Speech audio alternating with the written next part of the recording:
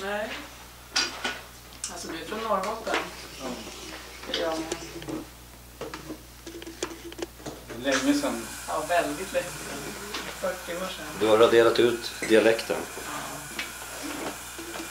Jag har en kompis som var två veckor i Göteborg och kom tillbaka och pratade klockren göteborgska. Jag vet inte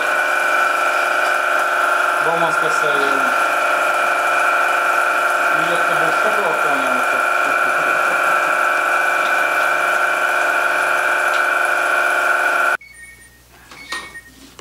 Och det här nya munstycket som du körde på, det som snurrar och sprutar ut åt sidorna, det var, var det bättre? sitter här. Var har vi den Jag ska någonstans? ta bort det kanske. Ja, jag, jag, Det där är värt sin vikt i guld, jag lovar det. Det ska smörjas, oljas in och stoppas ner i den lilla plastlådan igen. Eller plastpåsen. Det är viktiga bitar med program. Nu är det på riktigt det här vet du. Eller hur? jo. Jo.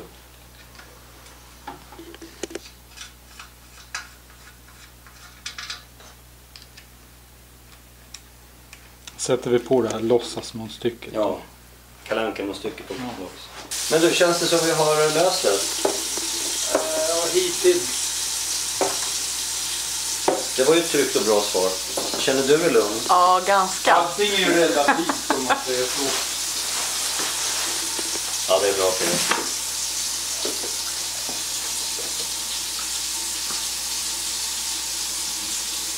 Jag tycker det ser riktigt positivt ut. Man ska ju aldrig lova för mycket. Det är ju... Och... Det låter det rinna på. Men det gör vi väl inte? Lova för mycket? Nej.